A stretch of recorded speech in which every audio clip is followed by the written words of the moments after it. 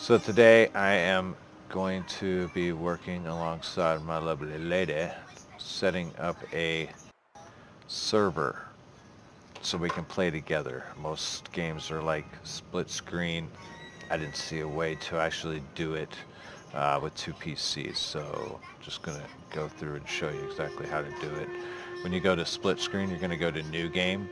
We're not gonna do that. We're actually going to go to continue. I have two ca characters. One's for myself, just when I'm playing by myself, and then there's one to join on her. Okay. Right now I'm going to show you how to create one. The server, so you'll know what they're doing on their end if you're wanting to join someone else's server. Both are going to be called for the server name Butt Cheek. So I'm going to start it off with me going into or making it look like I'm going to make one and then what you'll see what it looks like when we join or I join. You say butt cheek like you say it every day just so casually. Oh yeah. Alright, so you're gonna go here to open game to friends. Uh I started that. You still you told me to yeah. Told me to do it. Yeah, I'm just oh, going you're, to you're show so, create game, butt cheek. With an S. With an S, so that's what it's going to look like. Um, and then you would hit OK, and then it would say joining, you know, somebody could join or whatever. It's open.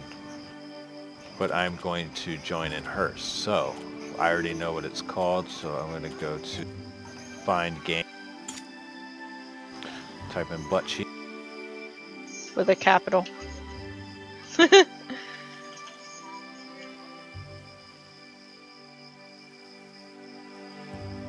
yep.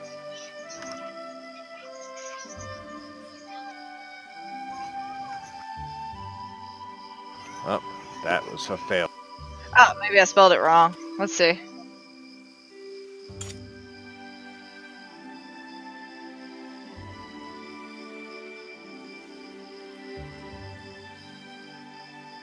My push to talk is caps lock, so.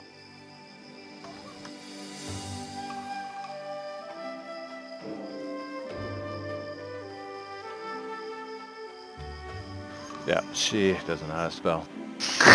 well, you know, I'm smart in every other place. smart ass.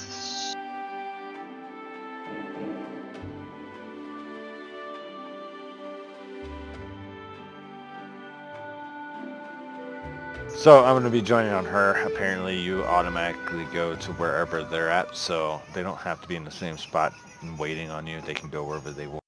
And you'll spawn up right on top of them, like so. Alright, so just wanted to show you real quick video how to join somebody uh, without doing the split screen, uh, PC to PC. Thank you for watching.